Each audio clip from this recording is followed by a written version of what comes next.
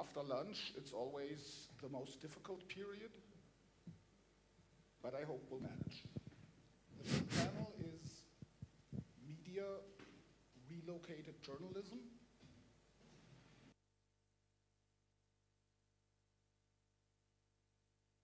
Zmicer Lukashuk. Добрый день. Добрый день. Панель посвящена... Hello, good afternoon. We're going to talk about journalists, journalism, and the mass media. And uh, let me begin with uh, somewhat far away.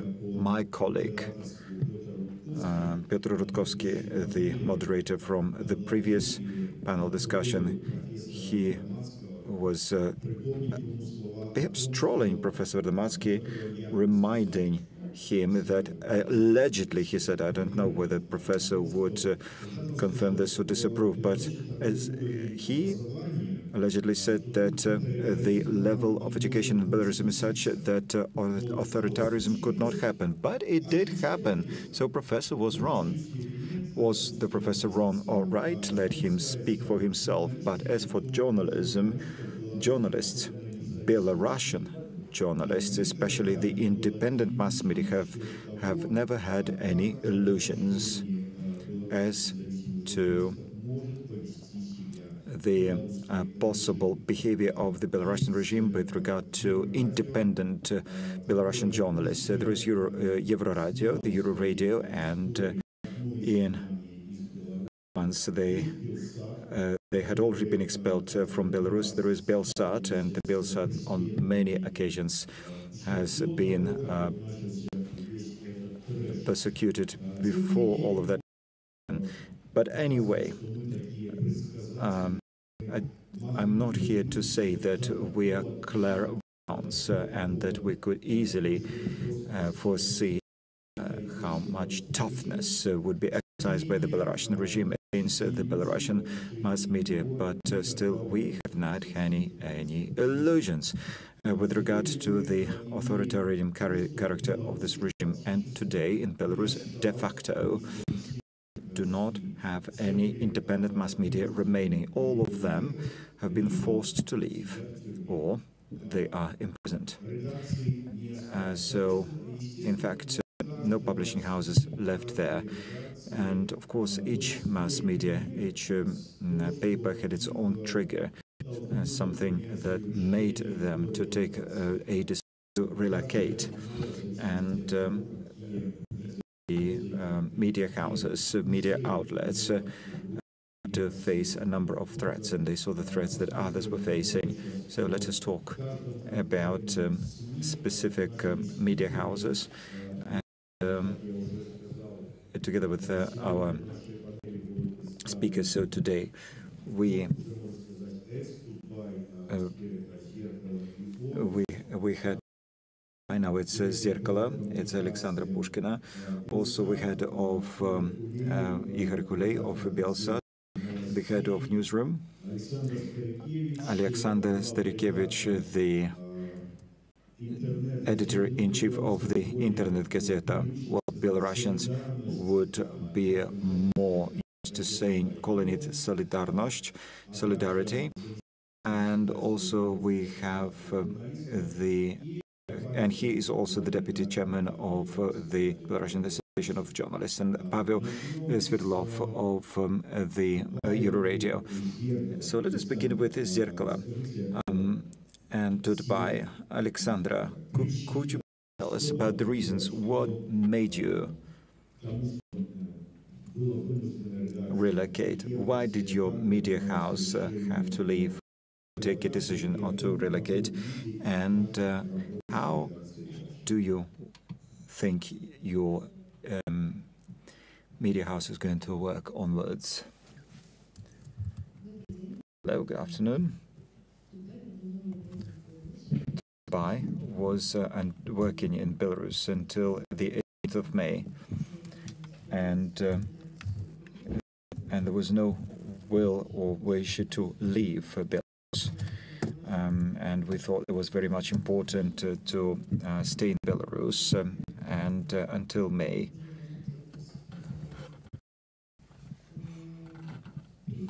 But um, May, we kind of used to, although it sounds uh, quite but we kind of got accustomed to this pressure, and so we and uh, we got used to being imprisoned, and uh, by that time, we already uh, had faced a criminal uh, verdict for and she was imprisoned, and it's very difficult. But after uh, the death of Roman Bondarenko and today's anniversary, our cat was arrested on that day, and uh, this is the burden we had to carry as we were working in Belarus, and we thought that this that was the level of pressure we could withstand and we could stay in Belarus. But on the 18th of May, it's not that we relaxed and we were not expecting any more pressure to be done on us. But what happened? We in fact we were disbanded within a day. On the 18th of May, during a day, the office was effectively blocked. My colleagues were there. In some people were taken out to for uh, search parties uh, were um, doing searches in our flats. 15 people were behind the bars, put behind the bars. They're still there. 14 people have been behind the bars for six months. So that was the trigger. Because we wanted to continue our work. We wanted to work inside Belarus, but it was no longer physically possible after that row. And now we are Zerkalo. Zerkalo is um, the continuator of Tut.by, and uh, some of the editorial staff left abroad, approximately 30 people, and with a caveat that uh, the majority of our editorial staff and of our group of Tut.by are still in Belarus. But they had to leave uh, the editorial staff uh, so as to be not linked with um, a very different thing is is impossible thing to do but um, uh, some houses were closed not only on the grounds of not paying taxes but not paying for utilities.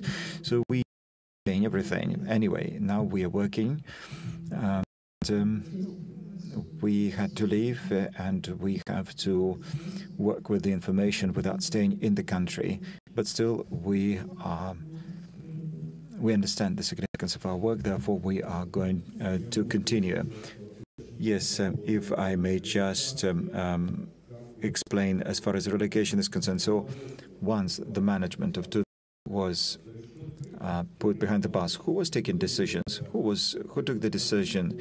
Did you have an organized um, departure? And how does your um, editorial staff work right now? Because in Minsk, you're on the office. And how do you work now? What's how about you now?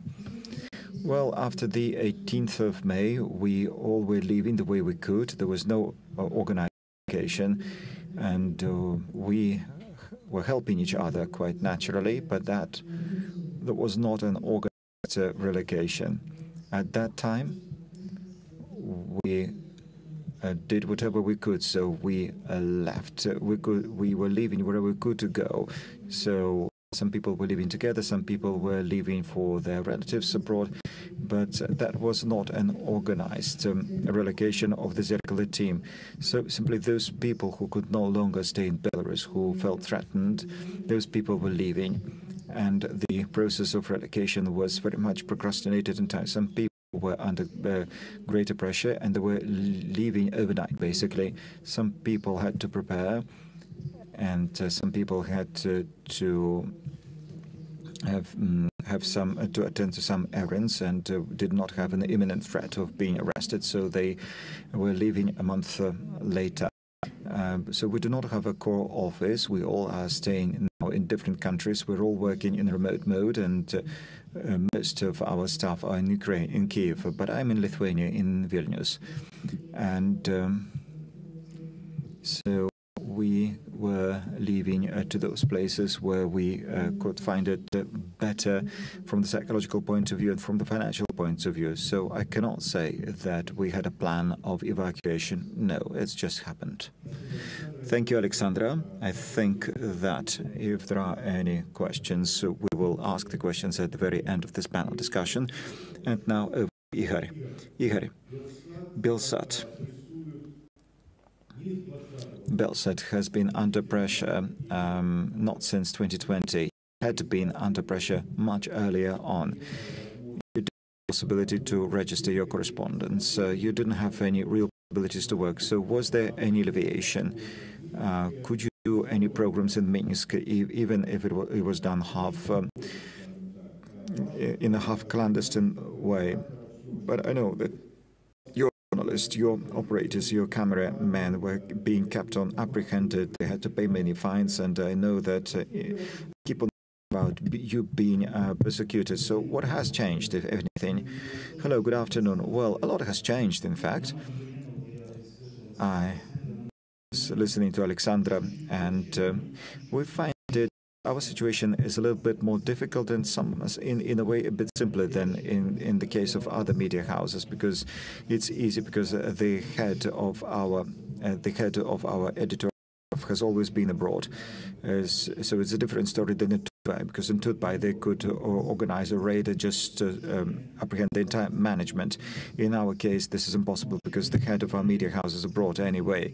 But we are a TV station a a picture. We cannot work with the text only. We need picture. And of course, it's easier to write a text, but in order to get the picture, you need to be out there. You need to be on site. You need to be there with the camera. The cameraman is conspicuous, so that's to begin with. Now, what has changed?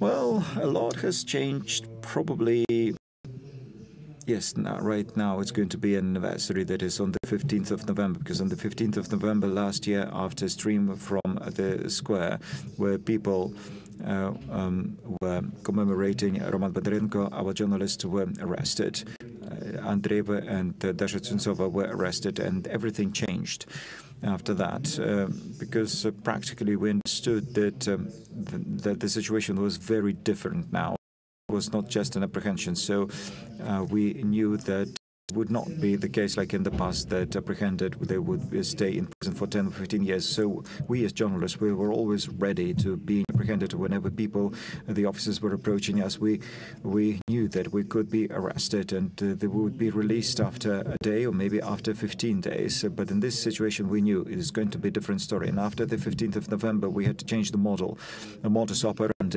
and we were uh, waiting for the uh, uh for that time to come, we knew that a, a, very heavy blow will be delivered against us, and we knew that they will uh, make it uh, our work totally impossible. We were getting ready for that day to come, and so it happened. And it happened in August this year, 2021. I don't. Uh, so uh, they. So in May they um, uh, uh, made a raid by. they made a raid on against us in August. so in fact they had about in our studio. Uh, was a whole debacle in our studio. For instance, Monday, Tuesday, we uh, were working in the studio, in the studio, and uh, once we do not have a possibility uh, to uh, do any studio work, there was nothing that we could do, and that was exactly they chose. So uh, we started thinking about relocation, um, and that process was. Um, was a more centralized and more organized uh, because all of um, management, uh, decision-making staff uh, who could organize anything, all management was here in Poland in safety. So in that case, everything was rather well organized, and I may say that uh, I don't know whether this is a reason to boast or not, but in fact, none of the Belsat colleagues has um, stayed um, not left uh, unattended. So all those who could leave and find work could do so. We gave support to everyone. I'm not sure have to talk about it right now, but uh, there is some team that is still working on the ground in Belarus. They couldn't leave, uh, but uh, they might not be involved in shooting, in uh, taking to the streets, uh, but uh, they're working in a clandestine manner. From Vilnius, you can call, take a record of some comment, and write an article. But in our case, we need pictures, we need to um, do the video shooting. And uh, our viewers uh, wanted to see that we were there in the streets with cameras. Uh, so, for example, we might be mm, declared an extra outlet, which we have been declared, and many experts who are in Belarus they are afraid to give us commentaries and many experts were forced to leave as well. So 80% of all independent uh, Belarusian experts are living abroad now. And this is why every year we can maintain our information news agenda and uh, comment what is going on in Belarus. Thank you, Igor. Let me now uh, move to Alexander Starykevich from Piotr Rutkowski. I took over some of the wording. Um, a question. Tut.by was forced to leave after criminal persecution. Belsat after uh, repressions and dismantling the uh, studio. How about uh, your outlet? Repressions, crackdown. What was the trick? Cannot hear without the mic. This is what I'm asking about.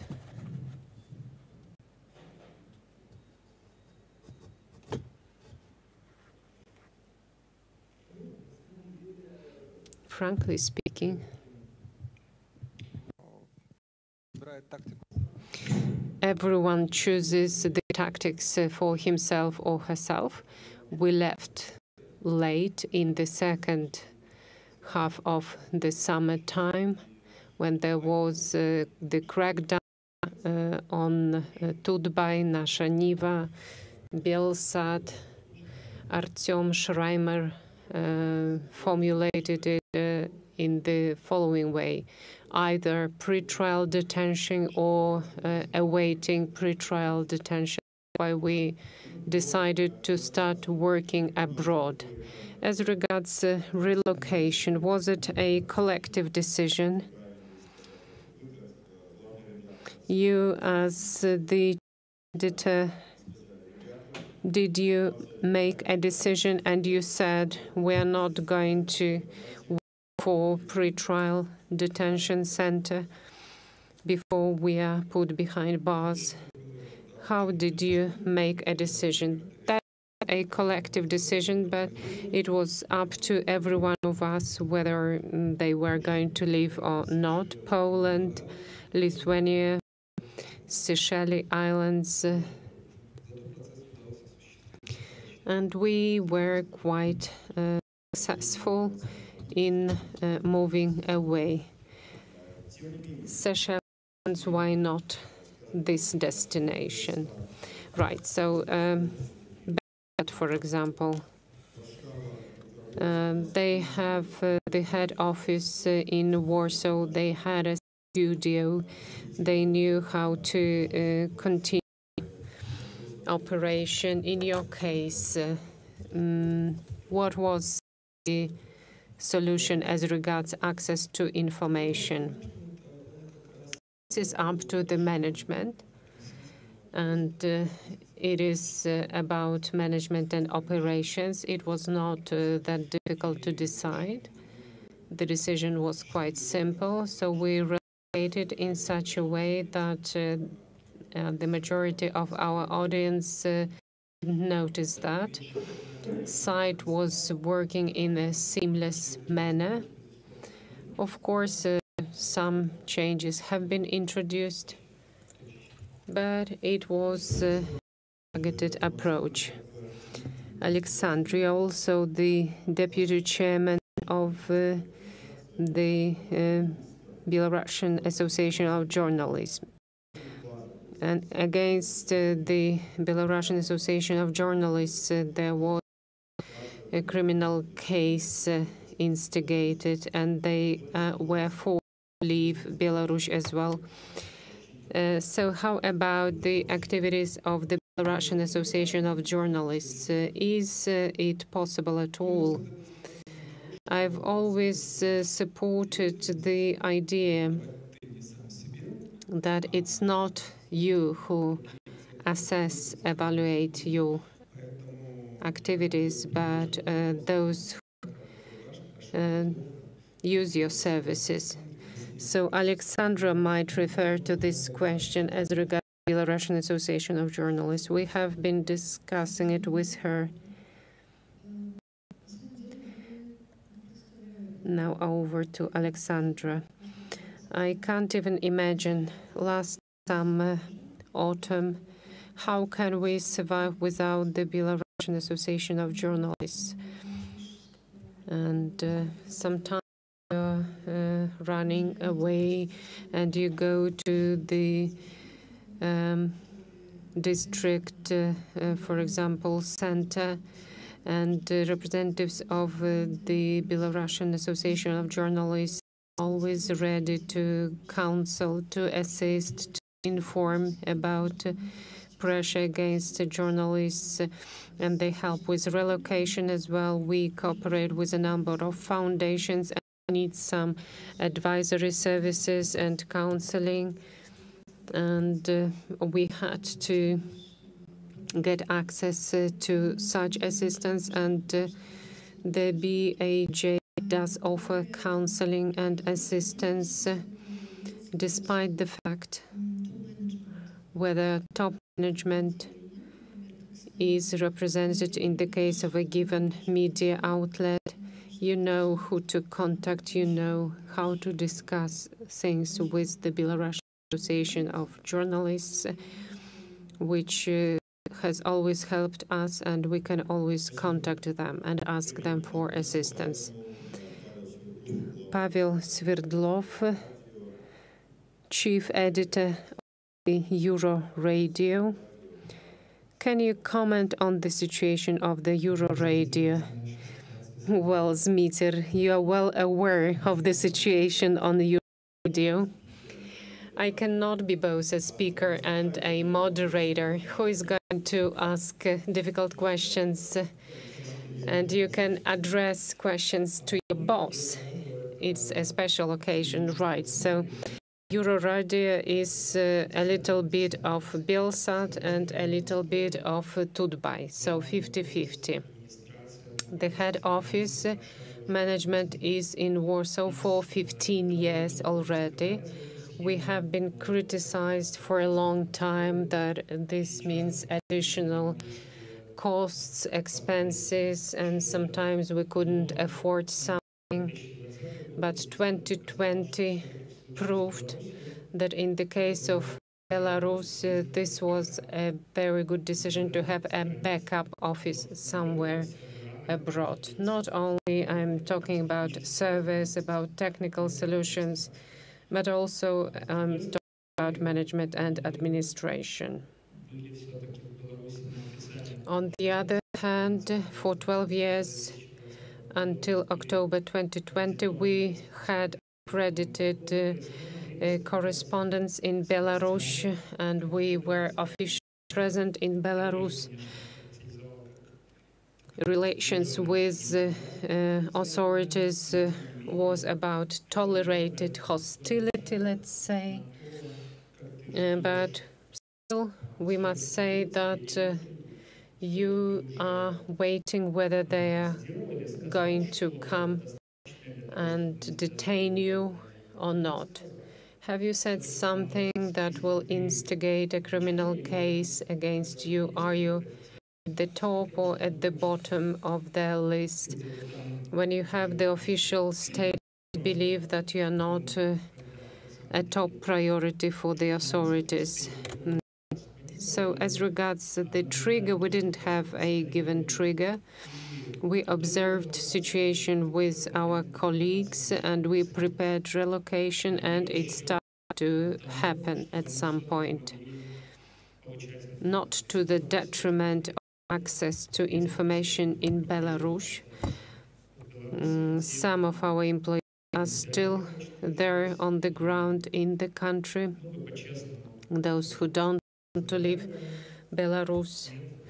And we are frank, which is with each other. Um, there are some obstacles, uh, there are certain circumstances, and not everyone can escape from Belarus. So this is what it looks like. Right, we're running out of time, guys. So maybe there are questions from the audience. I'm not going to be as uh, polite as previous moderators. I will uh, start asking my question, uh, your professional point of view. The propaganda uh, representative of the Belarusian TV claimed that there was the ideological war underway and we are all warriors, soldiers uh, taking part in this war. Independent journalists have never said so. We are always in favor of honest journalism, independent journalism, which means that we offer objective information. We don't want to be forced uh, to express biased view. We want to give people the opportunity to express their standpoint. As a person who has been dealing with journalists for a long time, I have heard these words from the first and second wave of opposition, or the third or fourth wave of uh, opposition, that we are all ours. We cannot be criticized. We are on the same page. We have to uh, be supported.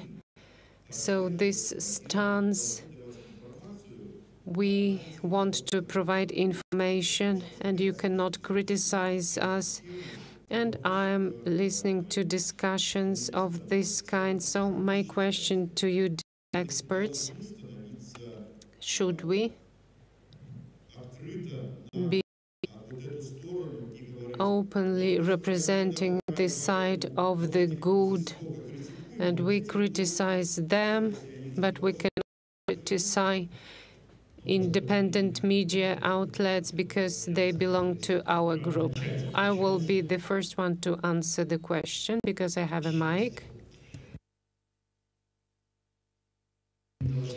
I believe that we do not have to fight against each other, but this is the warfare and the fact that we are being fought against, it shifts standards in terms of objective information sharing from the point of view of the pace of information sharing when you are waiting uh, an answer.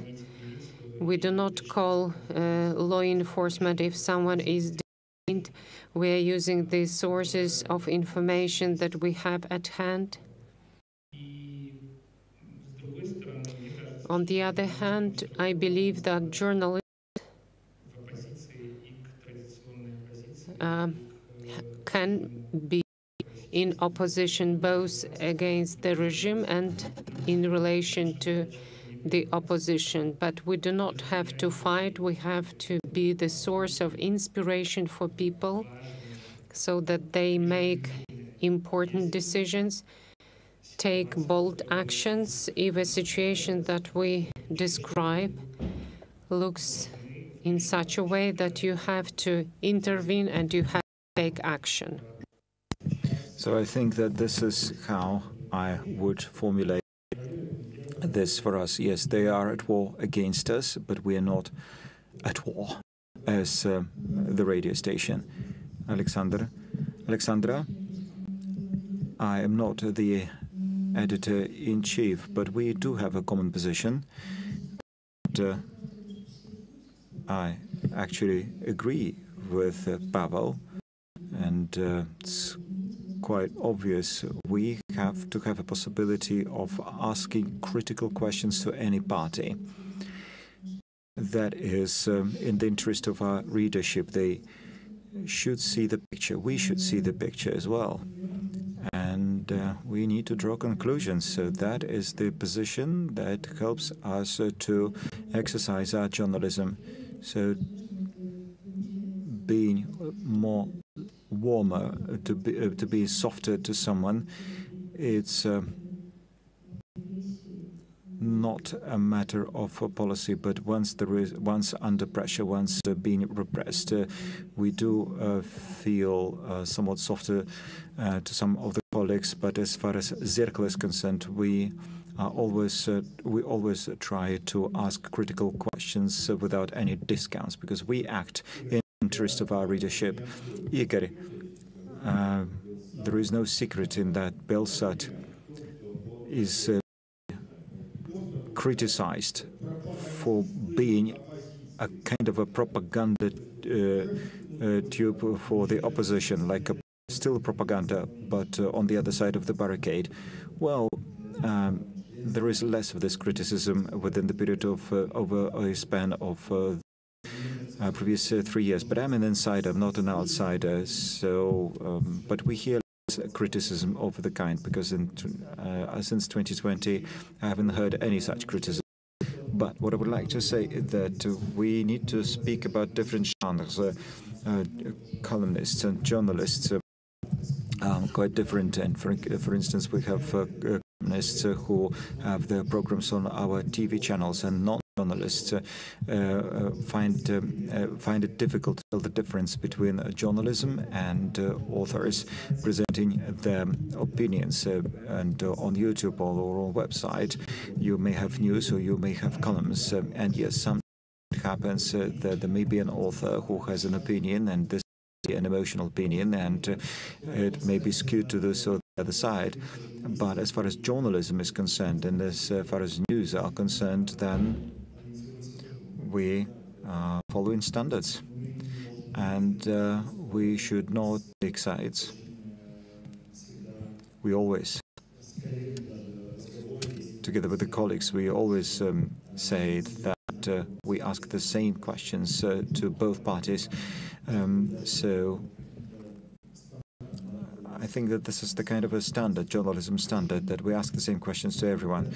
So all of those points of criticism, I would disagree with them because if you look into the way we work and what's happening in our newsroom, what is happening in Telegram, where there is um, a stream of news on the website, you cannot really uh, find any propaganda or manipulation on our side. We're not manipulating this or the other way. And Alexander, so you are a very experienced person. How about you? Yes, uh, I seem to be the oldest one here. The most experienced.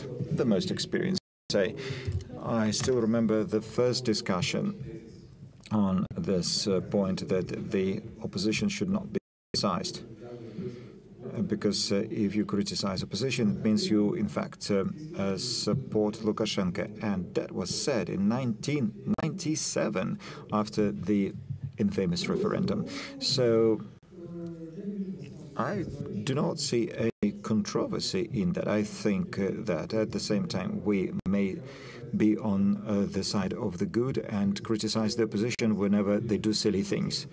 So we need to be honest, the honest to our readership. Uh, yes, we uh, can make mistakes, but it's not on purpose. We do not impose a viewpoint, uh, a position. We try to the best we can to present uh, the information in an objective way. But each media house uh, has um, its own point of view. So uh, for instance, the Times and the Guardian, they do maintain uh, hereby standards of journalism to whatever extent that is possible in the modern world. And um, it's um, very difficult to act uh, in compliance with the textbooks uh, that were written 100 years ago. But the pictures they give, um, being to different media outlets, are quite um, outlets are quite different. And uh, likewise, likewise with us, we have the core and um, the core media, but there are also people who um, people who read us, who follow us, uh, they actually agree with us. It's not that we are a source of a propaganda for them. We are never playing with emotions, although uh, playing with emotions using uh, instrumentalizing emotions is quite popular, but we do not. And uh, yes, there are people who need um, this um, specific point of view, and it's fine, it's okay. Okay, the time has run out. Pavel Barkovsky still would like to ask a question, so over to you. Please uh, use the mic.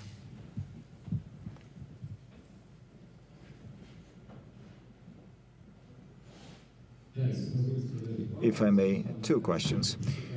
And um, if you find it personal, you may give an answer. So, question number one given that almost all participants in this room are, are members of extremists groups, and uh, I'm scared to be in your company here.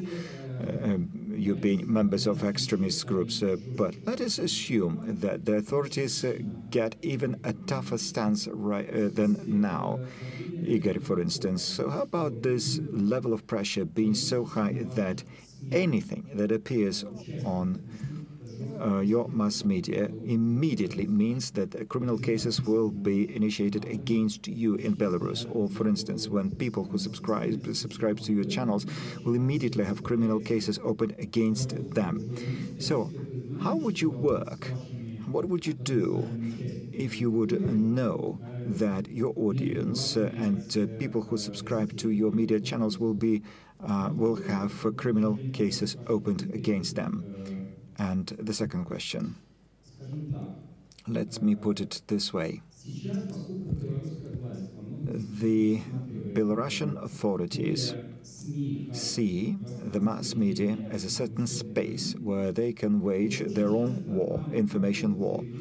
And this is where they make statements that are difficult to, to comprehend from the point of view of common sense. For instance, when uh, officials say that as far as migrant crisis is concerned, that uh, the Polish authorities are to be blamed for it because uh, those are the Polish authorities who are attracting the migrants, and um, um, and so they're to be blamed. But uh, we know that there are people who follow Zerkalo Tut.by and they do criticize you when you post that information of the officials and they say, why do you re-broadcast uh, whatever propaganda says? So when you give information without a commentary, it means, it looks like that you um, yielded to them, and now you are a platform for spreading their propaganda news. It's not fake news, it's propaganda news. So, how to work in a situation when you know that you're dealing with a piece of uh, information that is has nothing uh, to do with the reality. It is a propaganda case, and you know it, and uh, still you present this information. Well, let me try. And let me begin. So, speaking about um, um, um, considering us to be members of the extremist groups um, and um, initiating criminal cases against our uh, audience. Um, with Belsat in Minsk, they started the war against the satellite dishes. Do you remember that when they started taking off the satellite dishes? So the Belsat story begins that they were fighting with our viewers to begin with. So nothing new in it for us. And uh, if uh, they uh, consider us to be members of the extremist groups, uh, then actually do it because uh, um, um, well, actually, administrative cases were uh, initiated against our readership, uh, and we say that you can read us today, but you cannot repost, you cannot keep uh, video recordings of our materials on the phone because that is um, is uh, punishable. But readership will uh, find the way. Right now, we're in Poland, and back in the communist days in Poland, they had a similar situation. Uh, they used to uh, they used to have uh, leaflets, and for having leaflets, people could be put behind the bars for several years here in Poland. But still, leaflets were here, and the leaflets were, were passed on from person to person. So that was the way to work and to pass on information. And we're not in vacuum, and uh, people need this information, and uh, we see that this information is needed, and people want to receive this information. That's one thing. And the second thing is that under the current conditions, even in China, where all um, undesirable sites have been blocked, people still find of um, um, a way of getting hold of information they need. And of course, in Belarus, it's impossible to cut off everyone from everything. So of course, uh, life may be might be difficult, but what would be the reaction of the society? That's one question. And also, uh, people actually are still capable of finding a way to get information. And uh, if not the old ones, uh, then new platforms uh, are being um, new platforms are being established. Like Russians were fighting against the Telegram, and even the Russians cannot do anything uh, uh, to do anything against Telegram. And we should not underestimate Belarusian authorities. Um, they have progressed a lot um, over a year and a half. Um, they have increased, stepped up their repressions, and we initially thought no, they wouldn't do this or that, but they actually do, and then they do more, and then they do more even than that. So, as uh, Igor has said, when authorities understood, well, first uh, they um, they um, destroyed the independent mass media, but then they understood it was not enough because people still uh, following YouTube, and so they are fighting the readership and uh, viewership uh, themselves, which is an absurd because we're talking about millions of people following content on YouTube, for instance. You cannot put millions in prison. But the question is, what can or cannot the Russian authorities do? Uh, you might say that um, imprisoning millions is not possible. Well, but um, it is a it's a case of a protest, and you see, the, despite the repressions and repressions are being stepped up and repressions are being enhanced, it doesn't help. So we keep on.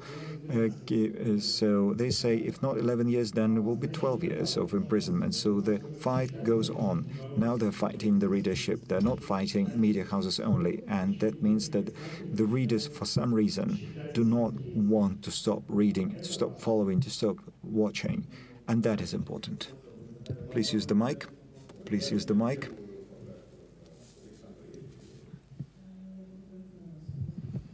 I can agree with what has been said. Um, uh, there is a lot of demand for information in society, and therefore I think that in any case, uh, the mass media and uh, the readers, uh, those are two sides of uh, one coin, and we warn our readers what might happen to them. So we tell them about possible liability, and we're thinking of devising different ways that will help them to follow. So, for instance, uh, we are trying to write in such a way that uh, the protagonists of our materials would not be held legally liable for this or that.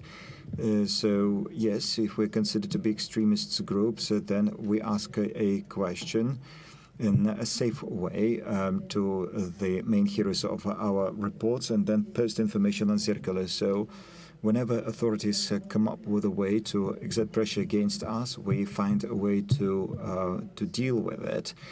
Uh, but uh, both the heroes of our articles and readers. Um, and readers, they also have to take decisions. And I remember when we were declared to be extremists, the Tut.by and Zerkalo were uh, recognized to be uh, extremist groups, but the readers decided that nonetheless they would uh, um, read on the website instead of a subscription. But Pavel, as Pavel has said, um, these people may be subjected to tougher repression. Some, we should not underestimate uh, the authorities. And uh, sometimes we subscribe to things on our smartphones, and uh, it may be actually um, quite a difficult, uh, quite a difficult thing for readers. Alexander, your reply to the first part of the question, our site was blocked uh, on the 9th of August in 2020, so early on, and it has not been unblocked ever since. And I can also say that due to the statistical data, we can see that our core um, audience, readers, their number has not decreased using certain technical possibilities, solutions that they can read our stuff. It means that uh, it is worthwhile to do that, and we are interested in order to offer uh, material information to our target audience. We have plans A, B, and C, but we are not going to voice these plans here for clear reasons. We cannot protect uh, all our readers in Belarus. We cannot promise we are going to protect them. It would be only naive to say so. This is as regards the first question. Now, the second question. Uh, we respect our target audience. We believe that they are smart people and that our readers are capable of telling the difference between propaganda content and objective content. So without our commentary, they will be able to distinguish propaganda content. We are a media outlet. I have never said that we would never write anything about what Lukashenko says, because there is some demand for such information. And if we do not uh, publish this information, they will be looking for it in other media outlets for various reasons, which does not mean that people are stupid, that uh, when reading something uh, using Zerkalo, um, listening to something on Euroradio or watching it uh, on Belsat, that they are not critical as regards the content that is presented to them. These are intelligent people, and they can say, I do not agree with this or that. Pavel, we represent the media outlet, and I was asked to uh, speak slowly, but we are very fast. Anyway, so we are uh, one of the media outlets uh, who write less and less about Lukashenko's words uh, or Haidukevich uh, uh, words. Or sometimes we ignore the words of such people because uh, it is not reasonable to write about them. Of course, when you mention Lukashenko, the traffic increases. But are we really interested in that? Do we need more traffic? We have been expelled from the country. The authorities have taken measures for us to leave the country. Uh, they didn't want us to uh, listen to their press conferences. They didn't want us uh, to write or call press secretaries uh, or public uh, officials. We are not that stubborn. We will do away without them. I would like to share a comment. I think it is important. Uh, Pavel inspired me. Uh, newsmakers. Lukashenko is one of these people who can be called a newsmaker. And there are a number of different channels and outlets that often need to attract uh, people's attention using provocation. And we tried to avoid such methods, although they can uh, generate a lot of followers a lot of traffic. We don't have interviews with uh, famous propagandists. We're not promoting their words by uh, reprinting or uh, reproducing uh, their theses, their words. But there is a borderline between the ideological warriors and newsmakers and we can see the divide and we operate in a given way. Let me also add that whenever we discuss information that is provided by the border committee, for example, on the other hand, we don't have any objective information, but we would like to share some information, so we would always mention, uh, based on the information obtained from official border uh, guard committee. We offer such and such information, such and such data. As Alexander uh, has rightly pointed out, people are not stupid, they will understand it. They are smart. A lot has been said, Zerkalo, when we have a reason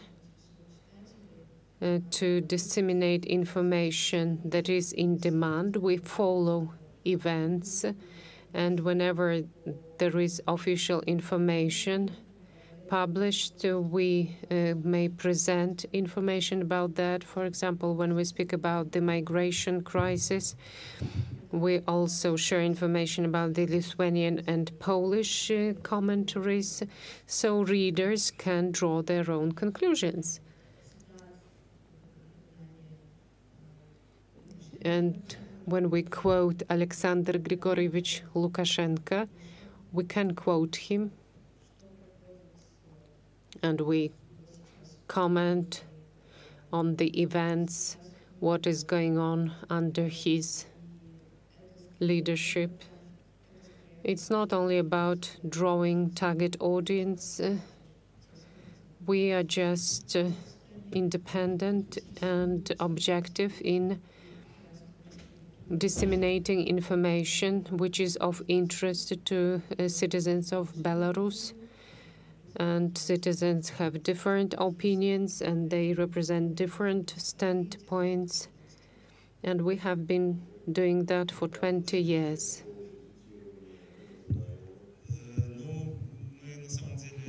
Frankly speaking, let me agree with uh, Alexander that our reader is capable of critical thinking and our reader knows uh, who they can trust and who they cannot be trusted. We were not born yesterday. We know the situation. This is what we can say about some absurd wordings by Lukashenko, and we can often refer that that was the original information provided by this or that. Now, scandals, uh, propaganda, um, representatives, for example, maybe it's not an original um, sort. If we do not have our own individuals uh, that uh, produce uh, scandals, we can watch YouTube channel and take a look at the trends on YouTube, and Belarusians live using the Russian agenda. If we don't have battles between Azaryonok and other propagandists, then Belarusians are going to watch Russian word battles. It's not the Belsat's position, it is my own stance. So I believe that we have to be reasonable. We have to offer some um, scandalous wording as well, so that Belarusians watch our news and not only what is going on abroad. Uh, right. Uh, thank you for the answers. Thank you very much for your work and for your comments and for everything you've been doing for us. Let me also add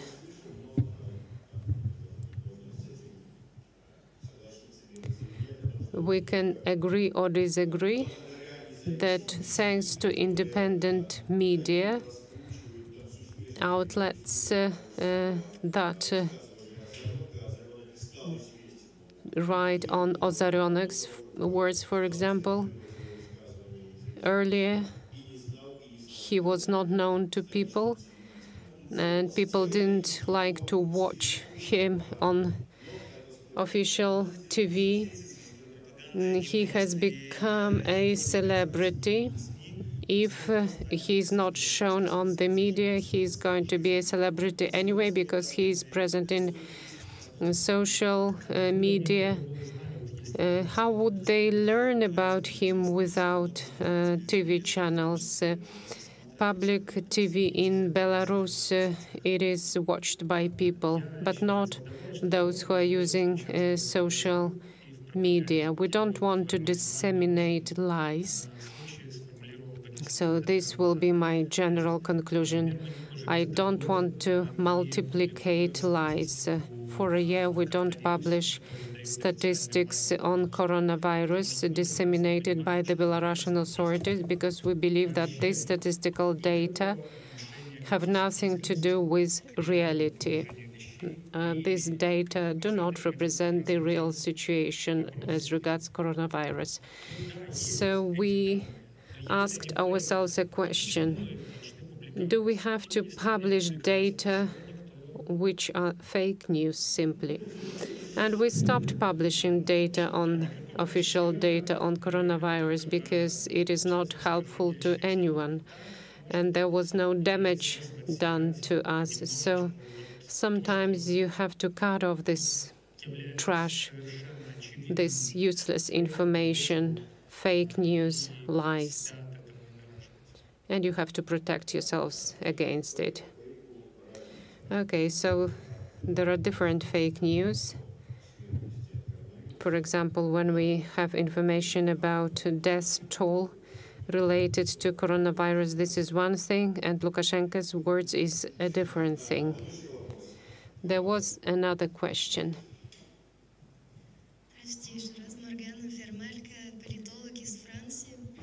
I am a political scientist from France. Your major mission work is to inform the Belarusian society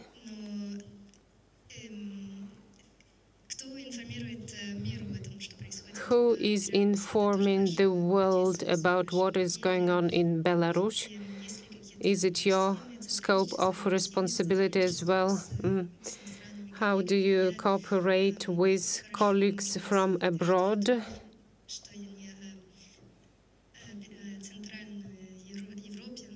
As regards Central Europe and the world, we want to know about Belarus. Let me try to answer this question. How shall I put it? We have a separate strategy on Belsat. It is about informing the world about the developments in Belarus. We have several la language versions, uh, including Polish, Belarusian, English. So we broadcast information and we collect feedback. So we also check what people write about Belarus based on information broadcast by Belsat.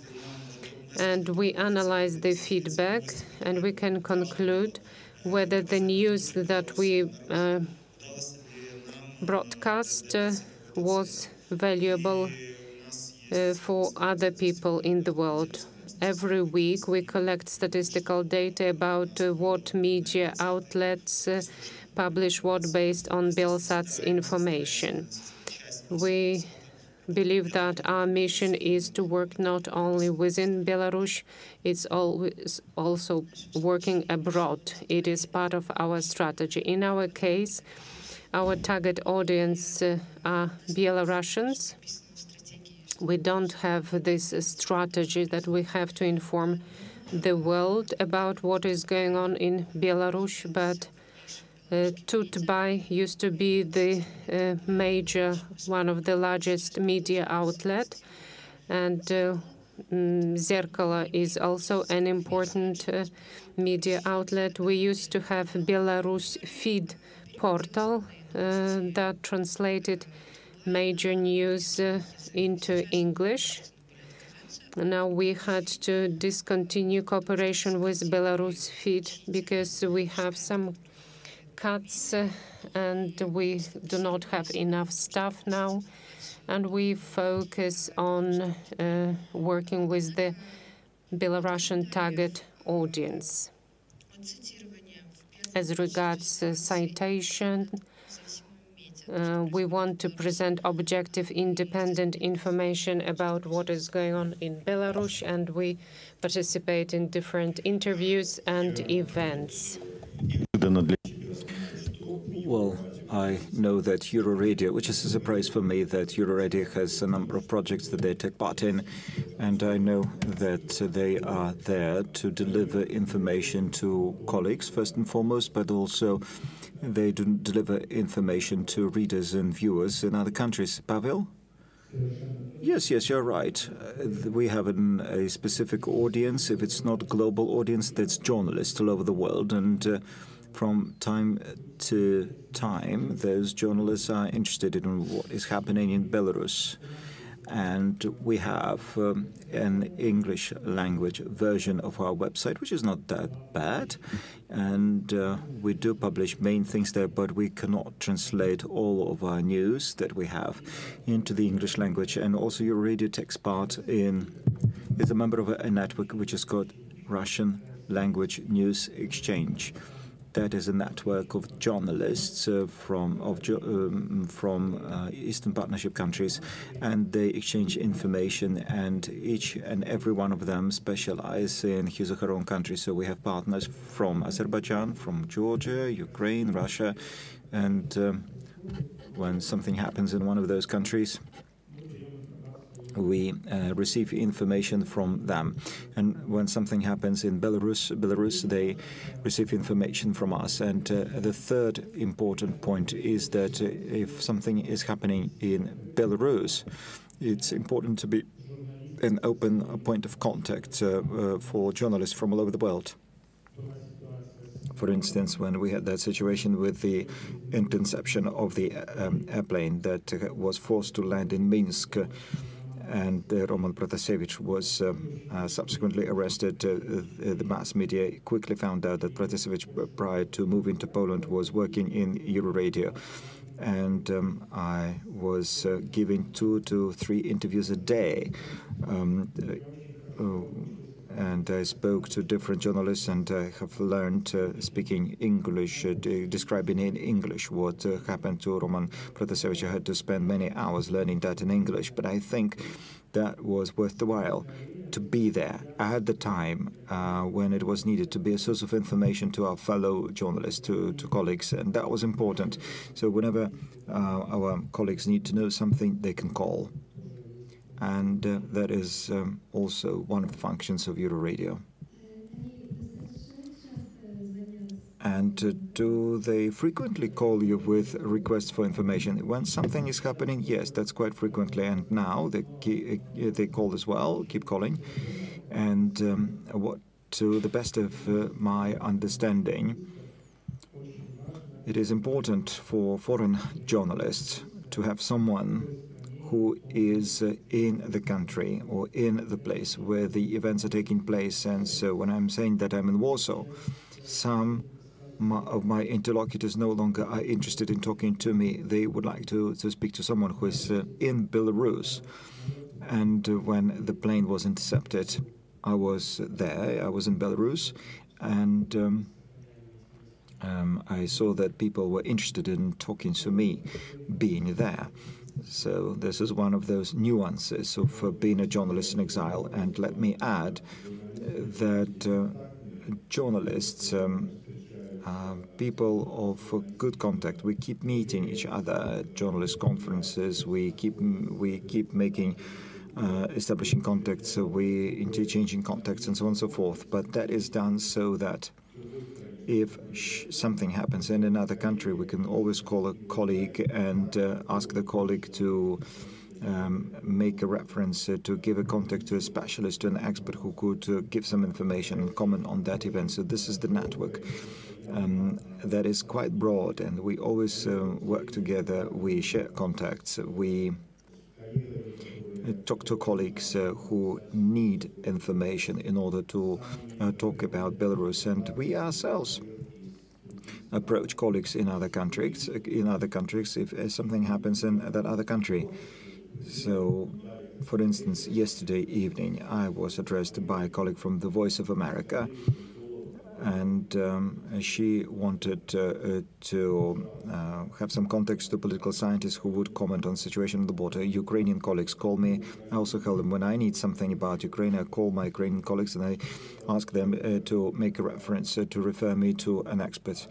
So this is one of um, the forms of cooperation, um, and that helps us uh, to share information and to deliver information. Alexander?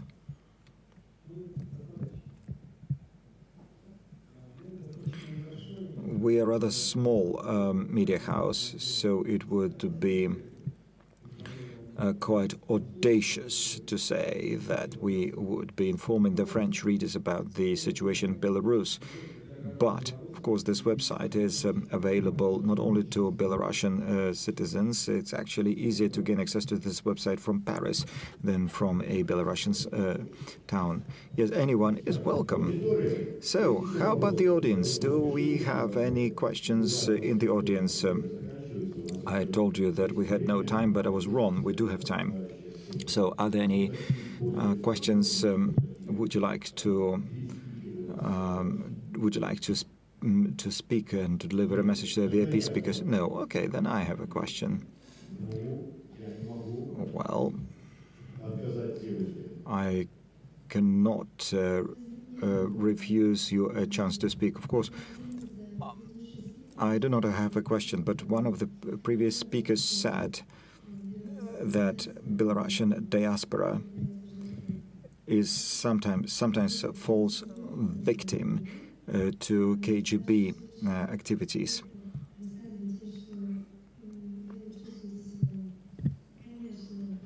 And um, you say that you feel safer here than there.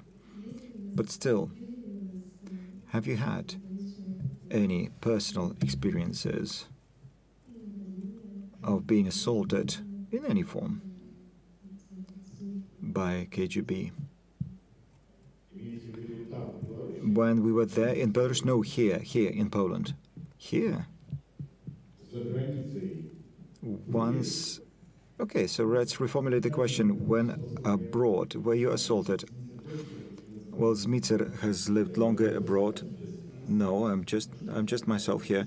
So I'm the longest because I've been here 19 for 19 years, so with a small break. So, well, there have been quite a number of waves of migration as far as diaspora, um, diaspora is concerned. I left in 2006. I had criminal cases. I had to leave the country. And after 2010, another team um, uh, left for Poland and uh, Belaruski DOM was uh, established by them, basically. Then in 2020, there was another big wave. And so if you look at the earlier periods, I did hear about some cases that theoretically could be linked to such activities, but you can never tell. So, for instance, someone is approached in the evening and is hit against the head. So, what was uh, that about? Is it because of the local uh, criminals, or was it done on purpose? There is always this question: Are they linked to someone? But we did hear about the recent events and uh, the Belarusian diaspora is being followed here, which is a fact. We have pictures, uh, we have uh, video footage that shows that, and the police was also looking into this. So there are people who are at least observing. Um, Pavel Latushka was saying that he was physically threatened, and I remember in one of the interviews he was saying that he was approached by someone who threatened. For instance, he said, well, "How about someone approaching you from the back and stabbing you with a knife?" And then he disappeared. So uh, such things happen, but uh, I wouldn't say that we have any serious uh, evidence of someone being physically assaulted here. I can only say that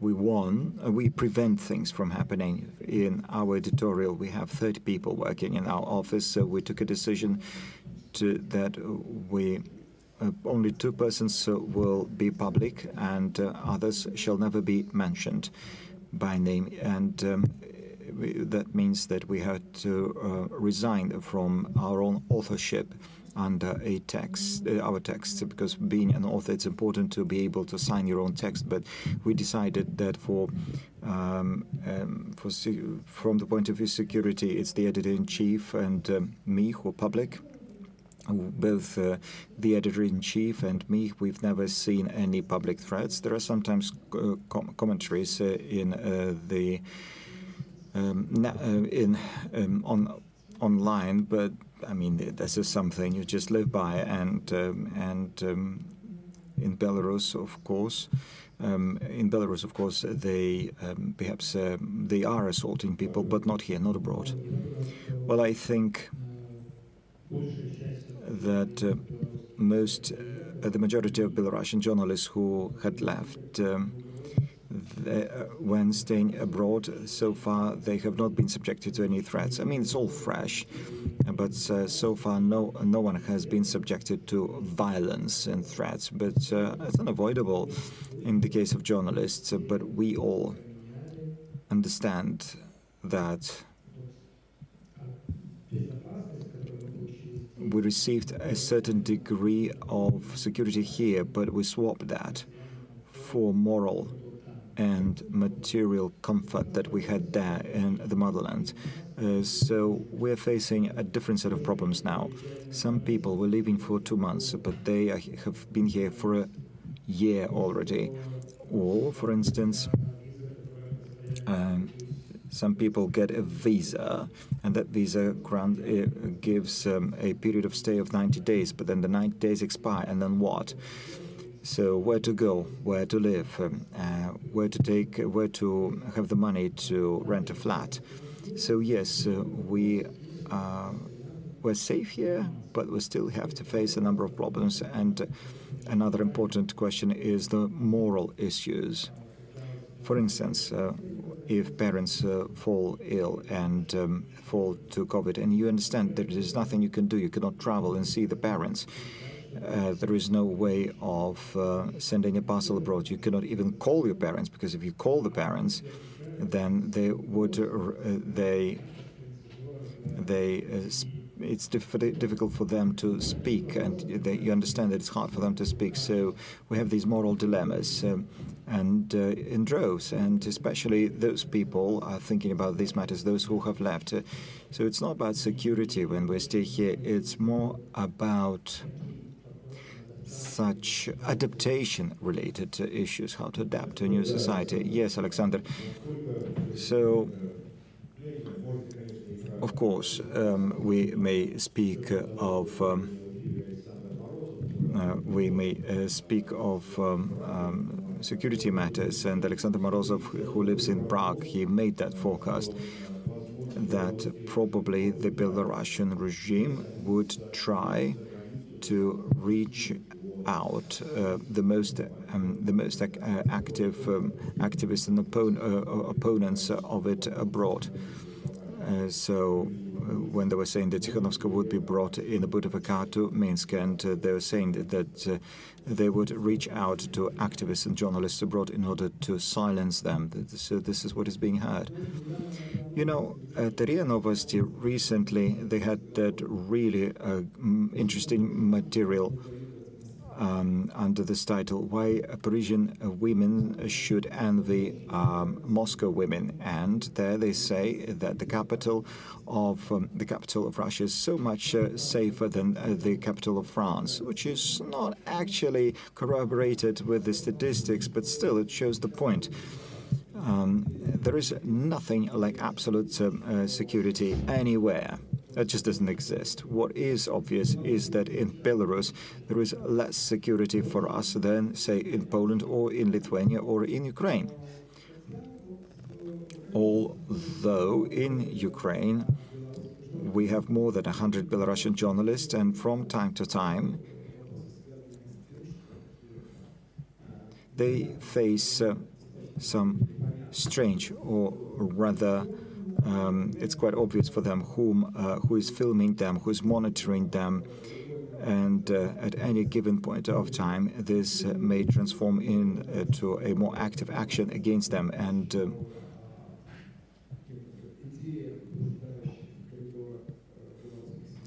also, um, uh, undoubtedly, um, Belarusian uh, officials and officers may have their ideas of what to do abroad. But yes, Belarusian journalists are always at risk, even if abroad. And I agree with Pavel. And um, he says that uh, there are more pertinent issues to face uh, today. For instance, in Ukraine, we have more than a hundred of um, our fellow uh, journalists. Some of them have a job, some of them do not have employment, but both, uh, all of them need to have relocation programs um, um, planned for a longer period of time so that they are not forced to, to go back uh, to a country where they will have to face a criminal article or something of the sort. For uh, So uh, this is it. Uh, taking into account risks, economic risks uh, are comparable to the other types of risks we have been mentioning. Speaking of uh, mm, criminal mass actions against the diaspora, we do not witness them. There are threats, but it's not a systemic approach yet.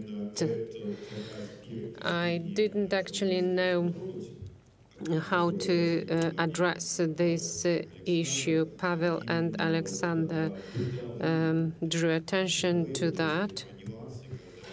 Uh, for example, when journalists uh, had to flee, had to leave the country, especially when the reprisal was unexpected. And one thing is to leave the country and know that you are going to be employed.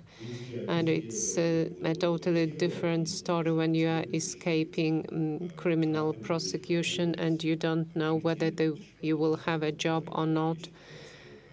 Will you be able to work at all in the country of destination? And you don't know uh, what the situation is going to look like in terms of uh, documents. Someone applied for a humanitarian visa, someone came here with a simple visa and doesn't know what to do next.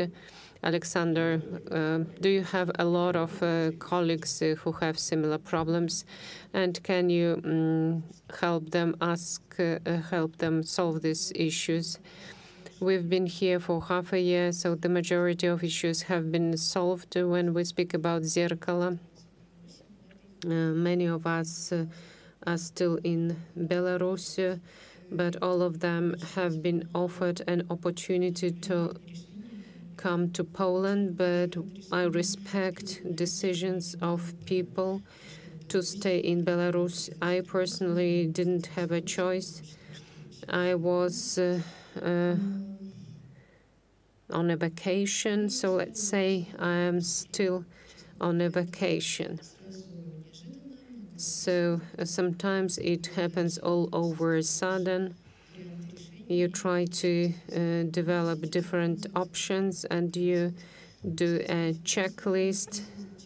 Financial issues, for example, in many cases, every one of us uh, had to solve uh, this problem because our accounts on Tut.by uh, were uh, frozen. The dismantling of Tut.by happened uh, just before the payment. If it happened after the 26th, we would have access to savings, to remuneration, uh, some individual uh, funds, uh, but our accounts were seized and we didn't have any funding after the dismantling of uh, Tut.by. So we decided to open up a new media outlet, uh, Zerkalo, and we tried to solve problems individually in any individual case because we're all living in different countries. In Ukraine, you have one situation, Lithuania or Poland, you have a different situation. When we speak about residence permit, the same goes for legalization of stay and work. Mm, we have the edito- editorial board and the back office, uh, including myself, are trying to solve these issues. So we've been looking for different solutions. It's not only about the media, obviously. Other Belarusians who leave their country face uh, similar challenges. There are some countries uh, which are uh, an easier place uh, um, to reside in, and they are very helpful. But I must say that if this is a mass outflow of people, it becomes a routine and the editorial boards tries to help each other and some people take on some of the responsibilities. And for example we would inform that you have to arrive somewhere and do this or that so that we can continue work. I hope we have been quite successful. It happened in a peaceful uh, manner but of course, there are different challenges. Within one month and a half, we solved the majority of issues. Now we work and we um, think about our home country and we miss home. A lot of people uh, came to the uh, headquarters of Belsat. They left for Warsaw and other cities in Poland who work in other cities and towns or went to Ukraine, Lithuania, Georgia. In Poland, it is much easier for us to operate, and in Ukraine as well. We used to have the representative office in Ukraine uh, for some time. In Poland, we've always been present here, and our colleagues, even before the events in 2020, they had been living for Poland. They were helped to legalize their stay here. So there has always been an inflow of Belarusians to Poland. Uh, but uh, the numbers of Belarusians who left Belarus uh, has increased uh, dramatically. So these are huge numbers now. So sometimes we have to um, use non-standard solutions, psychology and the mindset of people. Some of them cannot uh, believe that they would like to apply for political asylum. They don't want to recognize that they have left uh, Belarus for a long period of time. So I'm always involved uh, in therapeutical conversations. In uh, 2006, uh, I left uh, Belarus, and uh, only in 2014 I could visit Belarus. So for seven years I couldn't go back and visit my home country. So you have to realize that it's a long stay in Poland. It may take a long time before you visit your homeland. So psychologically, it's extremely difficult. So those of you who have left the country have to make sure they are capable of living here for a long, long period of time without the possibility of visiting the home country. Uh, with Belsat, it's much easier because we had the headquarters in Warsaw, and maybe the same goes uh, for Euroradio. Right, so uh, we have only five minutes left before the break. So let me ask a question.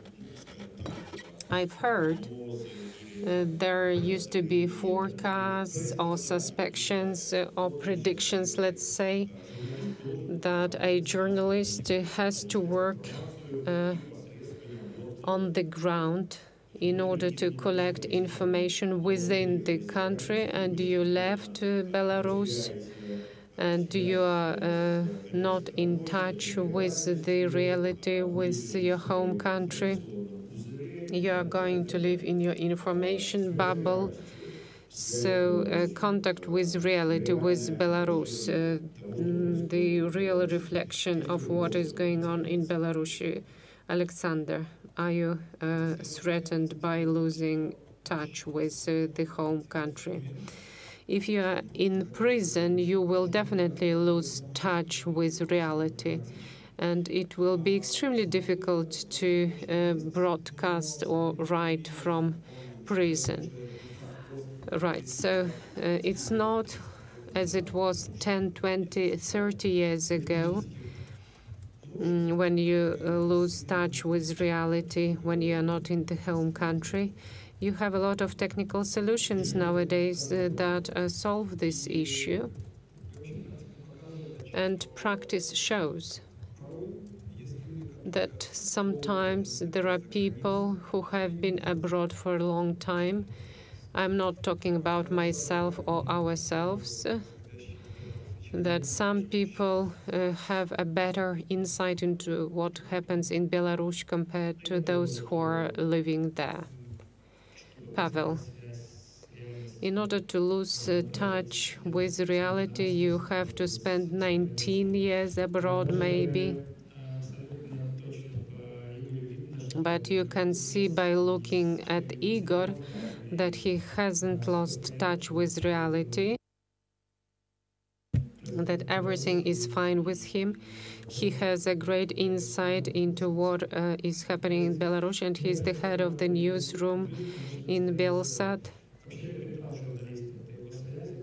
And uh, the capital of a journalist uh, are people. If you have people on the ground, you have access to information. And thanks to the sources, he or she will have access to information just as it happened uh, previously. I am not afraid of losing touch with reality. Let me add you can live in Belarus and you can lose touch with reality.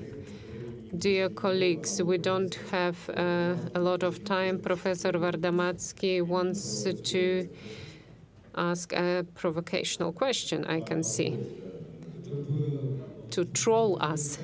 It is a comment. I just have to voice it. I cannot keep silent. But you've answered to some of my questions. Being in Belarus, you can lose uh, touch with reality much faster compared to when you live here. I'm not talking about uh, technical solutions, advanced technical solutions, where you can uh, follow everything, including the smell or taste of what is going on. Journalism is uh, about intra approach and extra approach, so from within and from the outside. And when you combine those two perspectives, you get a full picture. Let me give you an example. A shift of the optics. Uh, when my colleagues I studied with, they see Belarus in such a way that it is something, it's a special country where every day in an uninterrupted way when you go uh, towards a tram station.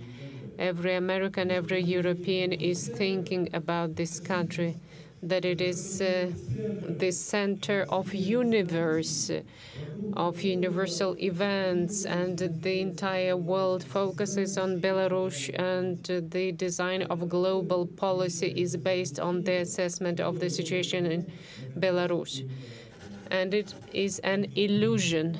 Only when you leave Belarus for some, some time and you are outside of Belarus, you can understand and realize that this is a wrong approach. So you've got an insider information and the look from the outside.